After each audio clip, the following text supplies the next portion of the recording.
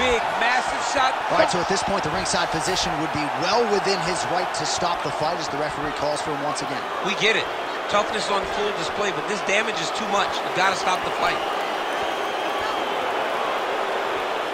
Just too much blood for the athlete to continue. He's disappointed, but he will live to fight on.